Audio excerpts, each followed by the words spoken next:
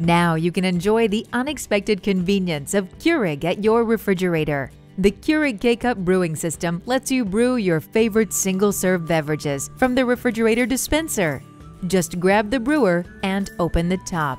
Insert your favorite Keurig K-Cup pod and slide the brewer into the dispenser. Select your size.